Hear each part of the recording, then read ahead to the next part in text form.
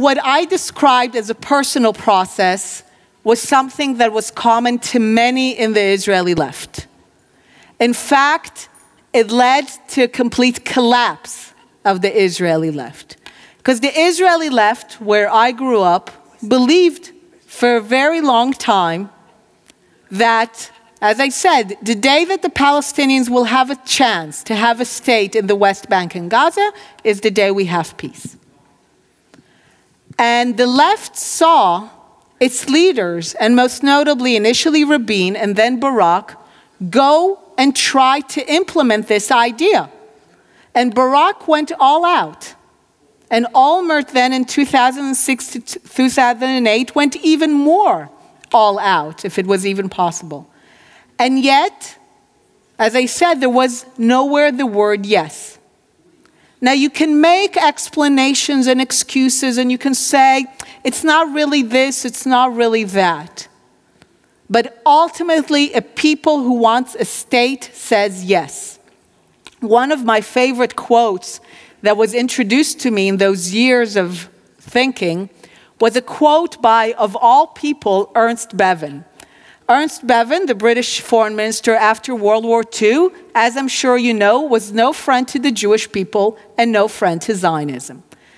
And yet he goes to the British Parliament in February of 1947 to explain to the people of Britain why Britain is reneging on its mandate, why Britain is taking the mandate it received from the League of Nations and giving it back to the heir of the League of Nations, the United Nations. And he says the following He says, His Majesty's government has come to the conclusion that there's an irreconcilable conflict of interest in the land. Irreconcilable conflict. Why? And he explains. He says, For the Jews in the land, the essential point of principle is the establishment of a sovereign state. So the Jewish people want a state. For the Arabs in the land, he says, the essential point of principle is to prevent to the last the establishment of Jewish sovereignty anywhere in the land. Now, it's a fascinating analysis of the conflict and why it's irreconcilable. He says the Jews want a state, they want sovereignty. Of course, they want as much of it as they can, but they'll take whatever they can get. And the Arabs want the Jews not to have their state. In many ways, this has been the best analysis and the best predictor of the conflict ever since. It explains why, during partition, the Jews said yes and the Arabs said no.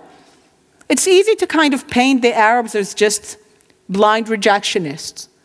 The Jews said yes, they were not happy they're getting half of what they were promised, but they said yes because they wanted a state, they wanted sovereignty. So, in our history, a people who want a state say yes. The Arabs believed that one half for the Jewish people was one half too much. The Jewish people were crusaders, foreigners, interlopers who had no business being there. So they said no. And I think what we've realized, even though this is a speech from 1947, is that the essence of the conflict has not changed. And to date, whenever the Arab Palestinians had a chance to have a state, there was always a price tag. And the price was that the Jewish state will also remain.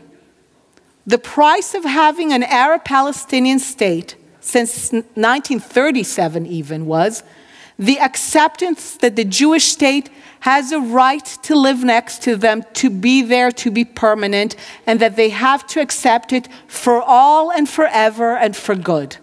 No dreams of return, no dreams of rolling back Zionism 150 years. And at least to date, this has been too high a price for them to pay.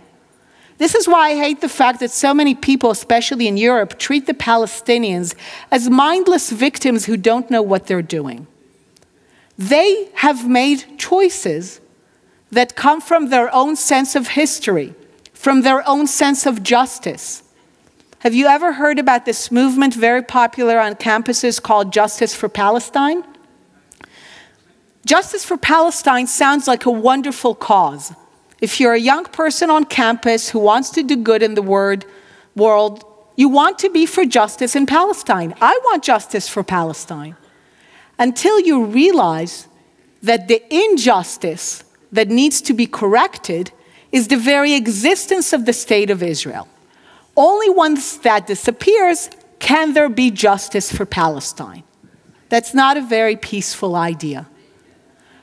So, but from their perspective, even today, this is justice. This is what they believe is their due. Only when these foreigners and crusaders and interlopers will go away. And as I said, it takes time for the other side to accept that we are not colonialists. That when the Jewish people came here, in their mind, they came home. They didn't take a foreign land, they didn't come to a strange land. So I think a lot of people on the left collapsed because they had to contend with how deep the conflict is and that it will take time and that there are no easy solutions. I love the fact that so many people are saying, well, there's the one state solution, there's the two state solution, there's, and I tell them, you know what? Leave one state or two state. The word solution is the word that is losing resonance. The notion that you can solve something that is so deep and difficult, and it has a simple solution that you can tie up nicely in the bow.